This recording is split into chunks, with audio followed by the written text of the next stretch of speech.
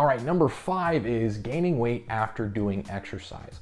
So I've had quite a few people reach out to me very frustrated that they started a exercise routine, specifically weightlifting routine, and after a week they've actually gained weight, sometimes three to five pounds, if not a little bit more.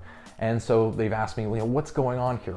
Should I stop my exercise routine? What am I doing wrong? One thing to keep in mind that's really important is that when you're exercising, you are breaking down muscle tissue. And this is more specific for weightlifting, but I would imagine that in some capacity, this is also going to be uh, is going to happen with cardio type exercises.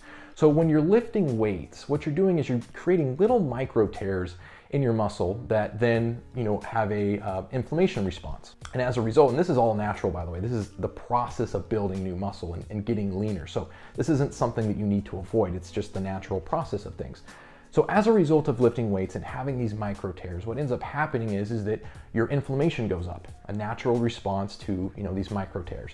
And part of inflammation signals the body to retain water, all right? So it can kind of help with the healing process. So you are going to re retain some more water, and as a result, that's going to increase your total amount of weight. Now, if you were to, to break all that different weight up that you've, in, that you've gained in that time that you've started lifting weights, you would notice that the majority, if not all of it, is water retention.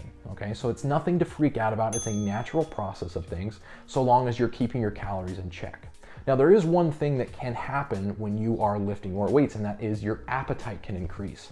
So you have to be very careful with how many calories you're consuming and making sure that you're managing that in a way that you keep your calories in a maintenance to a deficit range, all right? Because if you're not managing that well, you can very easily overeat and be in a calorie surplus. So those are some things that can happen, but in on the whole, if you're exercising, you're lifting weights, and you're in a calorie deficit or you're at least a calorie maintenance, then you'll be fine, and, it's just water weight.